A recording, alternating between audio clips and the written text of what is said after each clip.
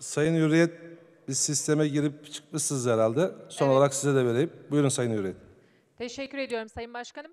Senelerdir kamu kuruluşlarının çeşitli birimlerinde çalışan sağlık personelleri, yemekhane personelleri, kiralık araç şoförleri, karayolları işçileri gibi birçok alanda hizmet veren taşeron işçiler, KYK'da yer alan personele dayalı hizmet alımı ve yaklaşık maliyetinin en az %70'lik kısmının askeri iş- işçilik maliyeti gibi e, işçilik giderlerinden oluştuğu işlere ilişkin hizmet alımları ibaresinden dolayı kadroya giremedi.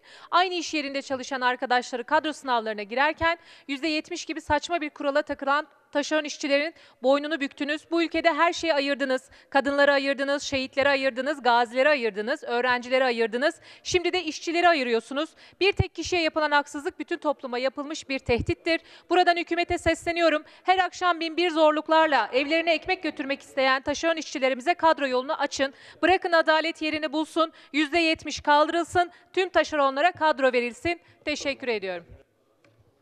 Teşekkür ederim Sayın Hürriyet.